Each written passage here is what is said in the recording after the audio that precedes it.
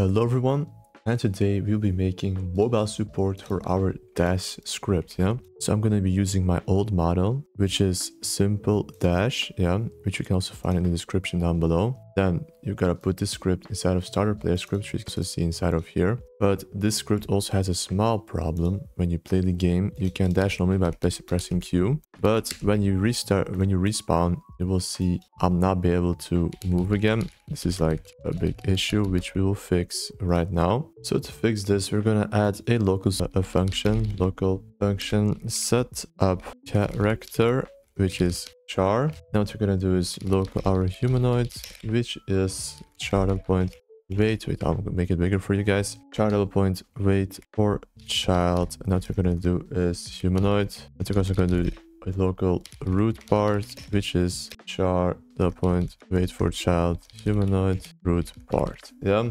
Then what you can do is oh wait, I'm sorry. What you can do is go here, double enter. What you can actually do is you can copy this whole thing. And then you can actually just control exit go here control v so it's inside of this function. I'm going to make it look a bit nicer. So here i'm going to do enter dashboard here i'm going to do an enter. But what you also have to do here is you delete these two things. You also delete this so you only have here I'm gonna name this to players this user input service yeah i'm gonna put user input service here. Now i'm also gonna do is i'm gonna do here local player equals players dot local local local player. This will stay the same okay? You can see here we have a lot of red which will copy our humanoid thing. Paste this and everything that is seeing uh, root parts. We're gonna change this only also this yeah. And what we will do here we will delete these things. This will be root part dot velocity equals move direction times dash speed. And we're to do also here is a task dot wait instead of just a wait dash duration. And this is all all right yeah. Then what we're going to do here is we're going to control this again. But then we're going to go here to the one with like a brackets and then we're going to paste inside of here copy humanoid I'm gonna paste this here copy root part paste inside of here. And what we're gonna do is just simply do our underscore here comma that and if is dashing and new state equals uh, jumping then velocity is zero is dot. I'm gonna do here. Zero is dashing equals false yeah? Now what we're gonna do here is we're gonna do a double enter. If play dot rec uh then what we're gonna do is set up character player dot rec there and then inside of here player dot rec added a point connect function set up character without the ending here just like this uh, without the function i'm sorry because we're not making a function like this setup character so me now oh I'm doing here local player, but this has to be this. Boom, just remove the local player here. Normally we can like dash after our time. When we respawn our character, you will see we can again just dash like normally, yeah. Now, also so another question people have been asking me to make is mobile support for this. So to make this, we're gonna make our own button. Yeah. So what we're gonna do is we're gonna go into starter GUI, screen GUI, and let's make this dash GUI. Make this here for, uh, I mean, a text button.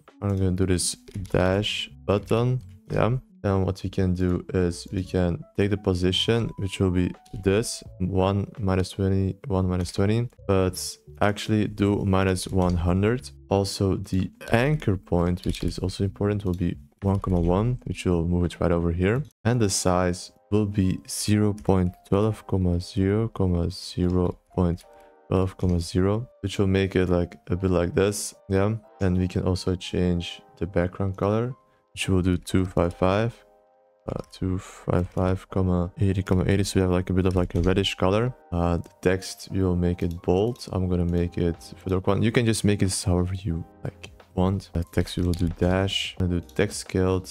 Text color i'll make it white. Uh, if you want you can just add a ui corner and i'll make this 1 comma 0 so it's like completely rounded this is our little dash script, like that dash button I mean. Okay, so then we have our dash button, but doesn't work yet. So when we play the game, also the PC players see the dash button, which is not okay. Yeah? We can just like go into our like iPhone X or something. You will see our dash button right over here. Uh, we're gonna go back into our local script and we're gonna go change some things yeah so under here we're gonna do local run service equals game double get service run service this is just to know like if you're playing on mobile or like pc or on controller. But of course the script will be completely different. So we're gonna do local function perform dash is humanoid dot root part. Yeah outside here yeah.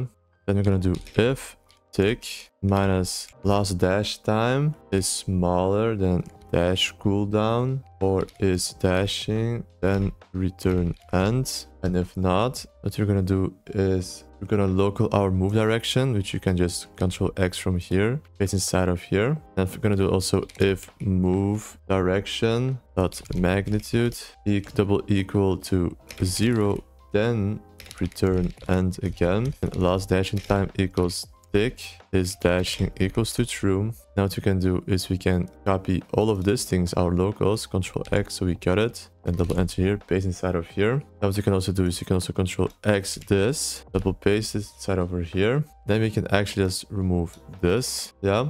But we're gonna need this later, but we're not gonna make that right now. We're gonna also do local function setup character like this, car, which will be local Wait, actually, wait. We don't need to delete this. Setup character is already here. Humanoid is good. This is good. These are input service input began function input comma game processed. Now what we can do is we can actually just remove whatever inside of here. And then we got what we're gonna do is if game processed, then return end. If not, if input dot dot key code equals to enum dot key code q. Then what we're gonna do is perform dash humanoid comma root part. Yeah. Then of course you also need a mobile support, which we can do right over here. Double enter here. Local button equals player double point wait for child player GUI double point wait for child dash GUI, which is what we may name it here, and also double point wait for child dash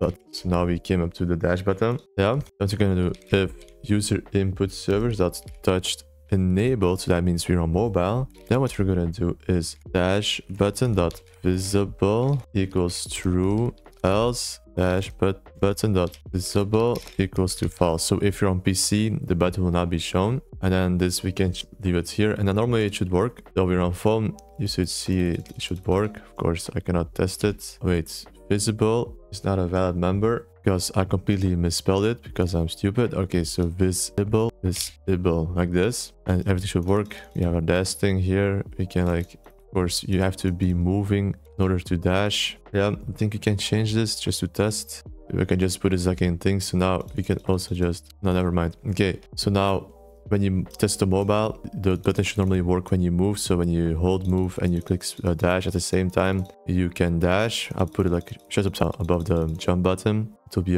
above the jump button in any like phone you can see. Uh, but when you're playing on like uh, our like desktop, you'll see the dash button will disappear because we're not playing on mobile, so you don't need the dash button. This is how you make this dash button work for mobile. I hope you guys enjoyed. We also fixed this, uh, the issue that when you respawn, yeah, that you cannot dash anymore, which you can right now again. You see, we fixed that as well. Thank you guys for watching, and I will see you in the next one.